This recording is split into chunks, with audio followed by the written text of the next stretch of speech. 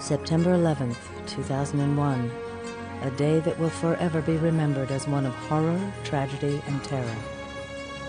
Like most of us, Sharona Rosenberg can tell you exactly where she was when the world fell apart. On September 11, 2001, my blood stem cells were collected, and at the time, um, I went in for the pre procedure at 8 o'clock in the morning, and they were prepping me and they were putting the IV into my arm. And all of a sudden, three nurses came in screaming that a, a plane hit the World Trade Center. While the eyes of the world were focused on events downtown, Sharona was having her blood stem cells collected uptown at New York Presbyterian Hospital. You can imagine what the atmosphere was like here on September 11th. The first plane had just hit the World Trade Center. We were all in a state of shock. Very quickly, it became apparent when the second plane hit that this was no accident. The hospital went into immediate emergency preparation. The collection went forward. I, the, the, as I said, the the hospital was in a state of emergency. Many people would have said, just disconnect me, I, am afraid, I, I don't want to stay here, I'm leaving. But Sharona did not leave.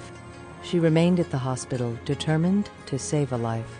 I think the fact that uh, a donor would continue with the intention of making sure that what she was doing for another person who was critically dependent upon her for a life saving treatment was extraordinarily admirable. I don't consider myself a hero. I just, I, I did what, what I thought was right to do.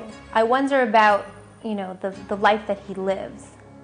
Um, and I always wanted to know who he was. The patient whose life Sharona saved is Alan Snyder, founder and chairman of Snyder Capital Management, a money management firm based in San Francisco.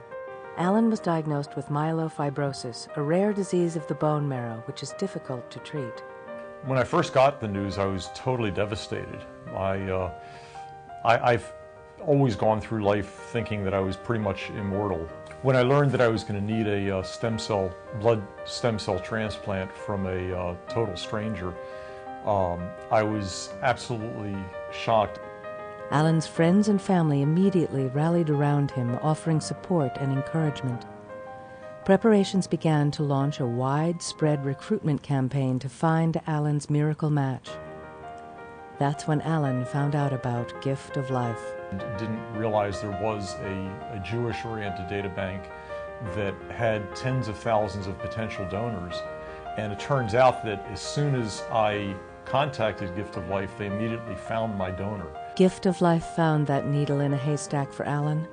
Because he and his wife Susie now had first hand knowledge of the fear and frustration that go along with searching for a donor, they understood the challenges that face Jewish patients seeking bone marrow matches. They decided to continue to work to add donors to Gift of Life's registry.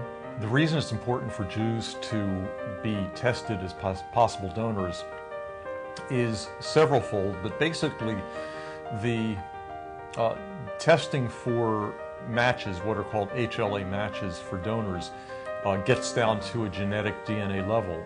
And if you're if you do not have a match from a sibling, which I did not have, then you have to go out into the general population, and the most likely place of finding a match is somebody with a similar genetic, similar ethnic background.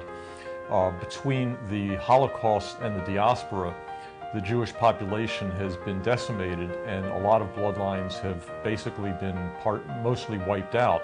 So it's very important to get as many Jews as possible into the registry. Alan and I have been very proud of our efforts to get more people into the marrow bank. It's enormously important to support the gift of life financially as well as with donations of stem cells there are thousands and thousands of potential donors out there who could be tested if there were enough money at Gift of Life to run these donor drives. Alan and Susie generously funded the addition of 7,000 new donors to Gift of Life's registry, an action that has already resulted in nearly a dozen transplants for patients in need. Their generosity has also helped fund an important project at Gift of Life to apply today's more comprehensive DNA based tissue typing to donor samples collected years ago. By fully typing previously tested donors, Gift of Life has facilitated transplants that otherwise might never have happened. It's something for my donor to realize that she hasn't just saved one life, she's been involved in saving eight other lives already, and there will be many, many more in the future. I have been so proud and amazed at the way he's approached this. It's, uh, he's not only given to himself, but he's helped the world in it, and he's taken his brilliance in his own business and applied that toward his fight and it's been an amazing journey. I wanted to read a letter that I had written to Alan's donor. You have donated hope and already a longer life. You have donated his love, integrity, and spirit to us all. You have given this strong willed man the opportunity to fight in his own way and to be proactive against this illness, an opportunity he wouldn't have had otherwise. It's been an overall um, uplifting experience for me. It's just, it's something that I never thought in my lifetime I would be able to do.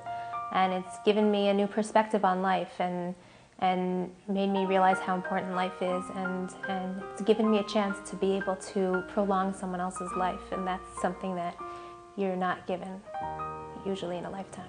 The fact that she donated on 9 11 makes her a bigger hero than, than uh, she is already, but the fact is, she's an amazing hero, whether it was 9 11 or any other time. Uh, it, it's just an amazing gift to have somebody donate life giving stem cells to a total stranger.